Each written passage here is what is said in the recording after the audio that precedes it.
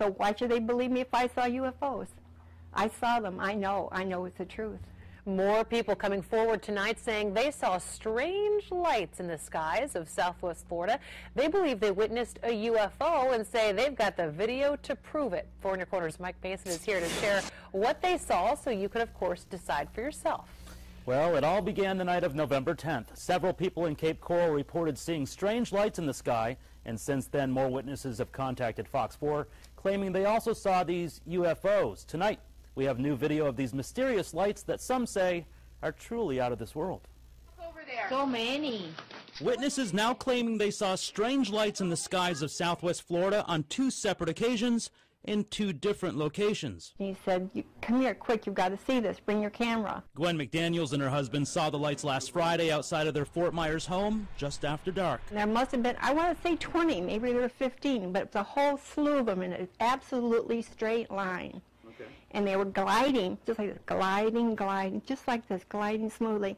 And then they turned and went south down 41. McDaniels grabbed her Android and snapped a couple of photos, but for some reason the pictures didn't come out. But last Wednesday, Stephanie Ramos did capture images of something she calls extraordinary.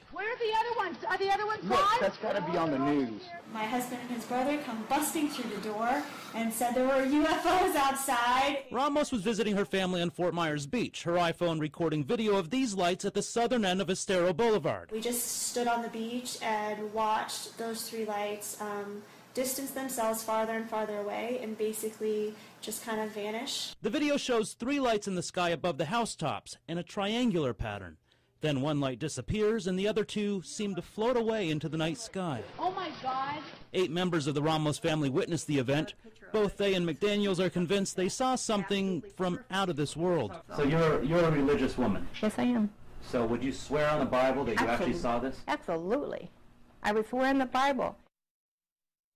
Well, there you go. The Ramos family says they asked officials at Southwest Florida International Airport if there were any air traffic recordings of UFOs last Wednesday. They were told they'd have to file a formal report to request the audio transmissions. We'll, of course, follow up on this and let you know what happens. In the studio, Mike Mason, Fox 4 in your corner.